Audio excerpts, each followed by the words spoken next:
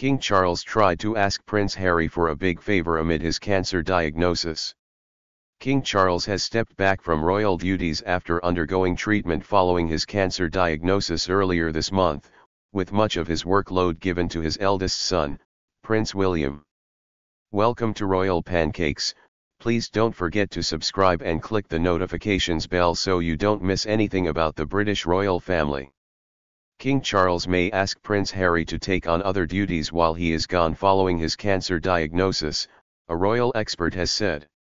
It was announced earlier this month that the 75-year-old monarch had been diagnosed with an unknown type of cancer after surgery for an enlarged prostate and has since undergone his first round of treatment.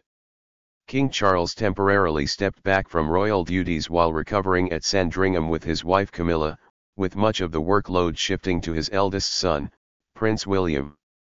However, the pressures of a busy schedule appear to have taken their toll on the Prince of Wales, and he was forced to cancel his appearance at a memorial service for his godfather earlier this week.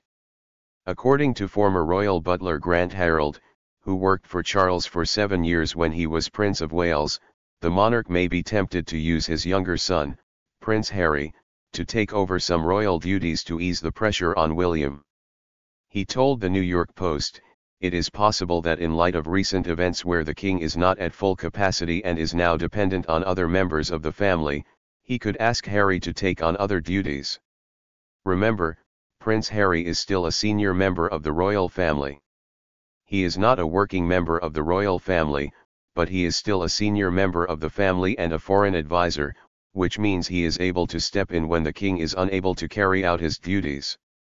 Harry still has a long way to go before he can be trusted to carry out royal duties, and his potential appearances at public events must be planned in advance, as the Duke of Sussex resides in Montecito, California, with Meghan Markle and their two children, Prince Archie and Princess Lilibet. Harry will remain in the loop despite his bitter separation from his family, and given his title as Counselor of State, he is technically able to intervene on behalf of the king. It was reported earlier this week that Prince William had tried to block any chance of his younger brother returning to royal duties after Harry expressed interest after their father was diagnosed with cancer. The bitter fallout between Harry and William has deepened over the past few years, and when the Duke returned to the UK earlier this month to see King Charles, he did not meet William. Grant believes Charles was reasonable while welcoming Harry back into the fold, he has already begun planning for the future of the monarchy, which includes his children taking center stage.